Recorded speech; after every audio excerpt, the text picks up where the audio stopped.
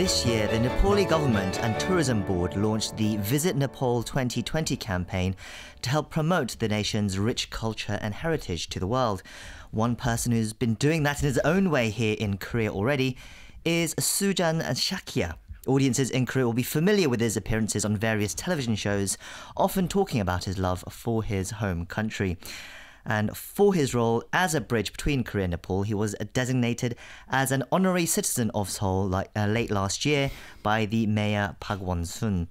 To share his stories about his home country and his life in Seoul, we have Su- Sujan Shakya joining us in the studio for this week's Touch Base in Seoul. Welcome to the show. Namaste. Thank you. Thank you for inviting me. You know, like just uh, it's been a long time. I've not been here in KBS for the radio shows, so it's been a long time. Well, it's an absolute honor to have you here on the show with us today. Thank and before we much. talk about Nepal, let's talk a bit about yourself. Yep. Of course, many people here in Korea will recognize you from various television shows that you've taken part in, but for our listeners who would be wondering who you are, can you tell us a little bit about yourself and how you ended up in Korea? Okay. So you know, like get, going back, uh, how I how I came here. It's like 2010, I guess. My father, he was pretty stubborn. You know, like he wanted me to get out of the country. So I don't know, like uh, this is destiny, I guess. You know, like I came to Korea just for six months, and I was telling you know like I'll be here for six months and I'll go back. But the six months became ten years now, and I'm still living here. You know, so I don't know like how time went by. So actually, uh, I come from a middle class family in Nepal. I was uh, born and raised in Kathmandu, which is the capital.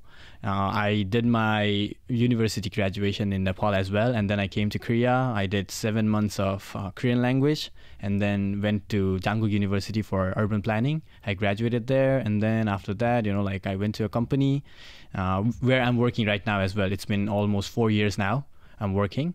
So it's a company where they manufacture parachutes. So we supply to you know like different countries in the world.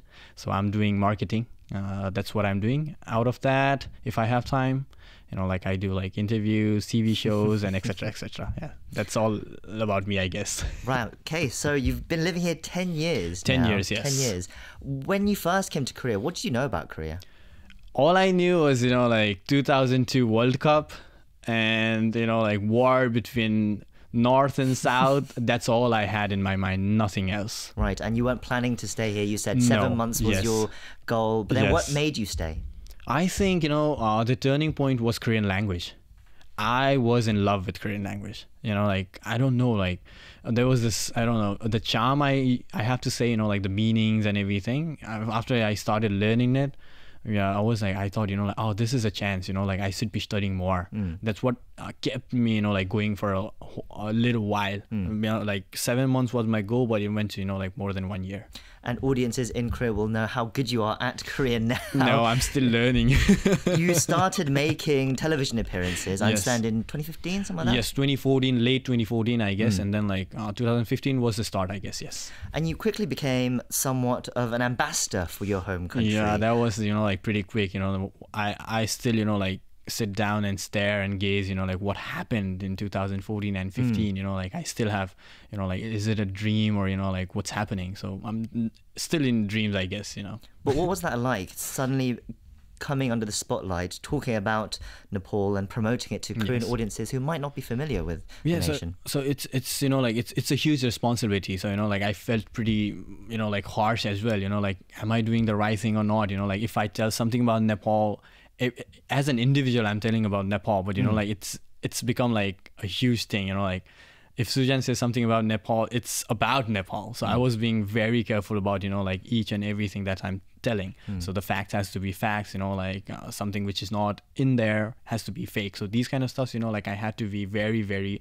conscious and, you know, like very careful about when talking about Nepal or talking about Korean in Nepal. So these were the difficult part, I guess, you know, the stardom and these kind of stuff where, you know, like it was pretty bizarre for me as well, you know, like, you know, like you're in the subway and s- someone is asking for you to, you know, like take a picture together. so these were like pretty, I don't know, Right. like what we see in movies. Yeah. But then you also started, I understand, giving speeches and talking to schools and various Yes. organizations as well, right?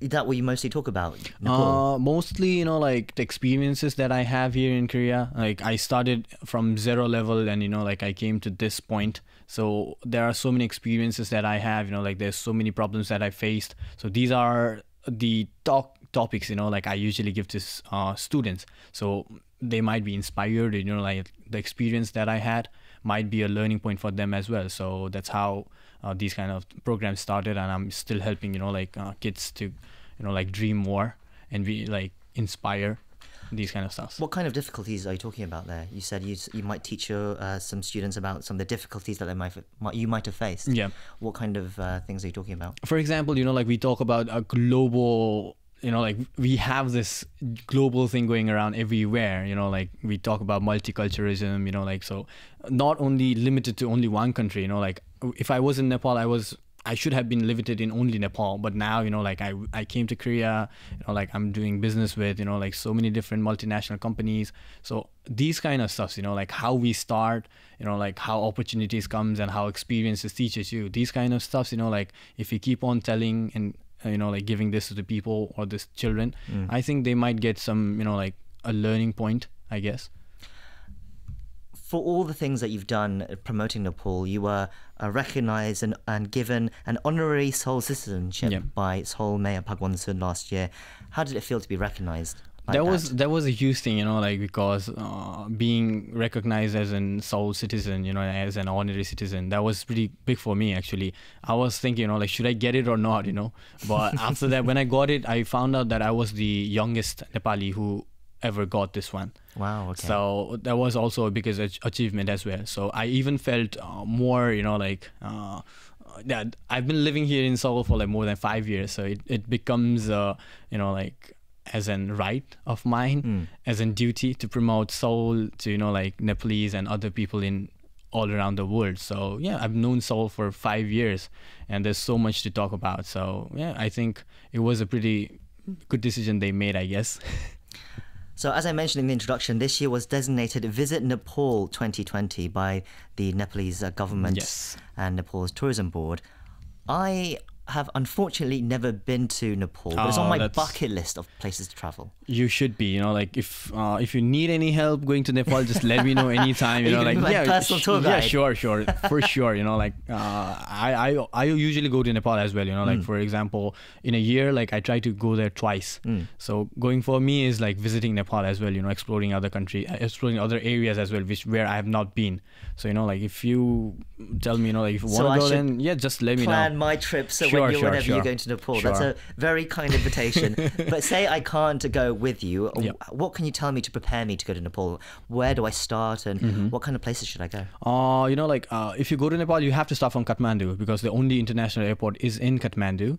After that, you know, like uh, Kathmandu is is a city. You know, like it's a capital, so there's so much to do. But still, you know, like some people feel pretty uneasy, like going, you know, like bustling cities and you know, like city sound, the smells and everything. Some some of them like are pretty, you know, like not used to it. But I recommend you to go to Pokhara. Uh, it's a beautiful place, uh, a city full of lakes, you know, like uh, or Mecca to go into the mountains. You know, like if you just take two, three books and just stay there, you know, like this, the time flies.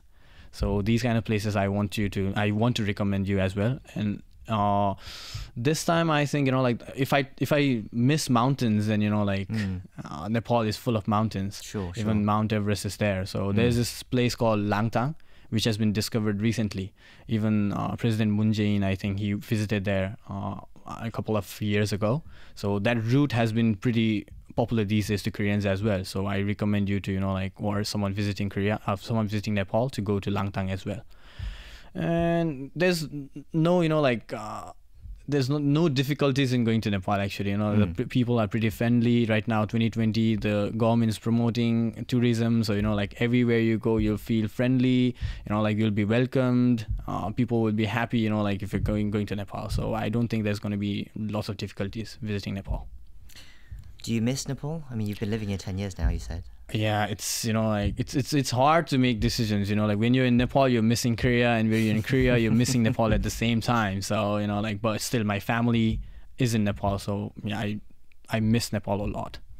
But do you have plans to go back or are you going to stay in Seoul, do you think? Mm, I think you know like I have to be wise in this. You know, like I don't want to leave Korea as well, and I don't want to stay in Nepal as well. So it's you know like I have to do something which makes me you know like come to Korea as well, go to Nepal as well.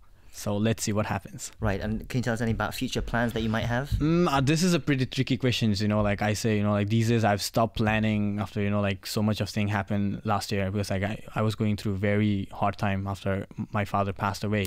I'm so you know, that. like yeah, these days I've stopped. You know, like planning. You know, like whatever you plan, if it does not work out, you're always in despair. You know, like you're. Uh, you're not feeling good, you know. So this is my motto is to you know like just live the fullest. That's it. Well, that's, I think, a great message to end on. It's been absolutely wonderful to have you on the show today. And even before I spoke to you, I wanted to go to Nepal. Sure, but, let uh, me know, man. Just just now I've got a personal tour guide going to take me. I have to go now. Yeah. Yeah, so I can't wait to visit one day anyway. We've been speaking to Sujan Shakya from Nepal and an honorary Seoul citizen. Thank you for coming today and sharing your story with us. Thank you very much for inviting. Thank you.